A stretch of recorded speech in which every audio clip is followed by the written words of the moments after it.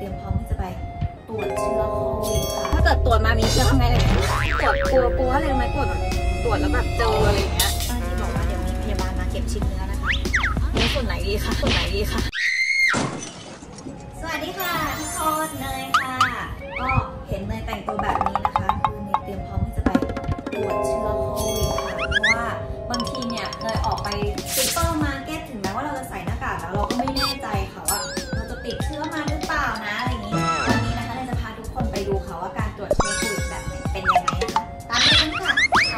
จะไปขึ้นรถกันนะคะ คือตอนนี้ท้องฟ้ามืดมากงงเลย แต่ไม่เป็นไรค่ะ เพราะว่าเราไม่ต้องลงจากรถค่ะ ตอนนี้นะคะเนยก็อยู่บนรถแล้วค่ะ เมื่อกี้นะคะ หลาย ๆ คนอาจจะสงสัยค่ะว่าทำไมเนยถึงบอกว่า เราสามารถตรวจโควิดบนรถได้ด้วยนะคะ ก็พอดีเพื่อนเนยเนี่ยเขาแอบบอกเนยมาค่ะว่า ที่โรงพยาบาลนวมินทร์เก้านะคะเขามีบริการแบบว่า ตรวจหาเชื้อโควิด โดยที่ตัวเราเนี่ย ไม่ต้องลงจากรถ ไม่ต้องเข้าไปในโรงพยาบาล แต่สามารถตรวจได้ว่าเรามีเชื้อโควิดหรือเปล่า และเราสามารถรู้ผลตรวจของเราได้ภายใน 5 วันเลยนะคะ ซึ่งเป็นอะไรที่รวดเร็วมาก และการที่เราจะรู้ผลตรวจ เราก็ไม่ต้องไปที่โรงพยาบาลอีกค่ะ เขาจะส่งข้อมูลมาให้เราเลย ซึ่งเนยก็ตกใจเหมือนกันเฮ้ยมันทำได้ขนาดนี้เลยเหรอ เราไม่รู้ว่าจะเป็นยังไงวันนี้นะคะเนยก็เลยจะลองไปตรวจดูค่ะว่าเป็นยังไงค่ะ เรากำลังเดินทางไปค่ะ คือเรียกได้ว่าเหมือนเป็นบริการ drive thru ที่เป็นการตรวจหาเชื้อโควิดนะคะเออเหมือนเวลาเราไปซื้อแมคโดนัลล์อะไรอย่างเงี้ยแล้วก็ drive thru แล้วก็จ่ายตังค์เราได้แบบว่าอาหารมาเลยอะไรอย่างเงี้ยแต่ว่าอันนี้เป็นการตรวจหาเชื้อสุดยอดมากเลยเดี๋ยวเราไปดูกันค่ะ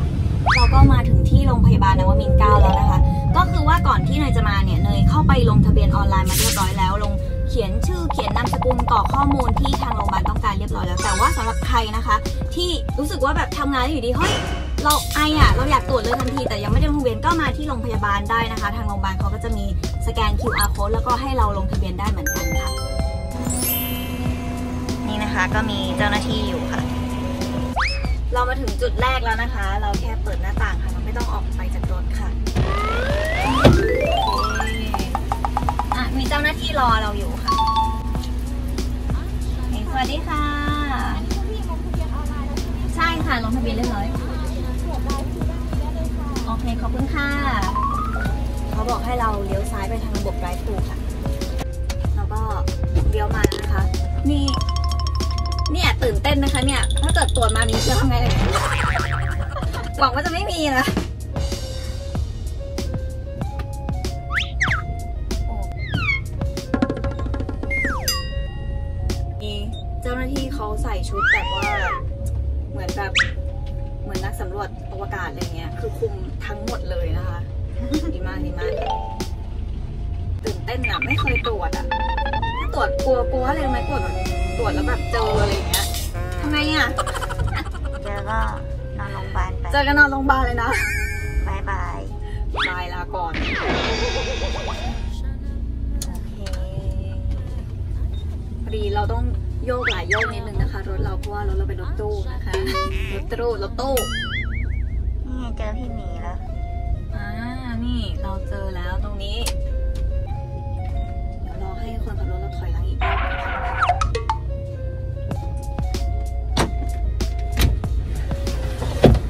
โอเคสวัสดีค่ะคุณนัทขานะคะใช่นามค่ะสกุลอะไรคะอิมราพรค่ะเดี๋ยวเดี๋ยวหนูขออนุญาตเก็บเงินก่อนนะคะ มีราคา 4,900 บาทนะคะค่ะสะดวกเป็นชำระเงินสดหรือว่า บัตรเครดิตคะอ่าเป็นบัตรก็ได้ค่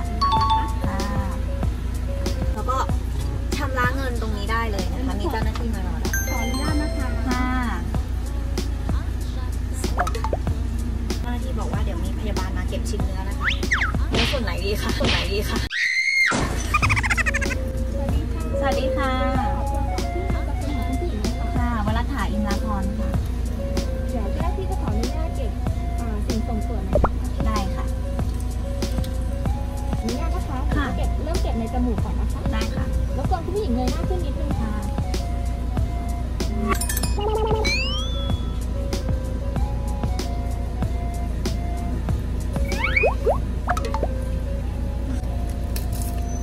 ต่อไปในปากนะคะค่ะอ้าปากนี้นะคะ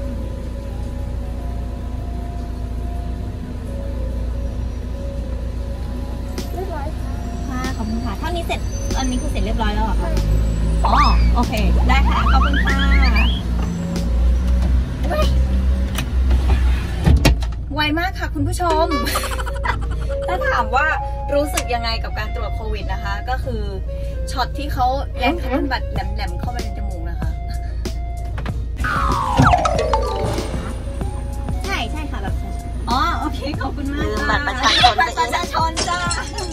ากทำบัตรใหม่ไงรูปเก่าไม่สวย รูปเก่าไม่สวย ขอบคุณนะคะ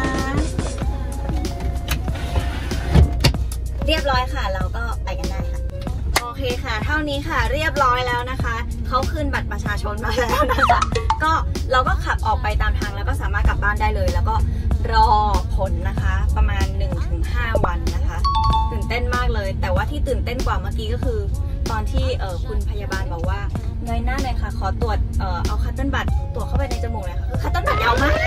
แต่ว่าไม่ต้องตกใจนะคะ มันไม่เจ็บ มันมันไม่ได้เจ็บเพราะว่า cotton bud เนี่ยไม่ได้ไม่ได้ใหญ่เป็นแบบเหมือน cotton bud ปกตินะคะมันจะแบบเรียวๆยาวๆอะไรเงี้ยแหย่เข้าไปในจมูกมันจะมีความรู้สึกว่า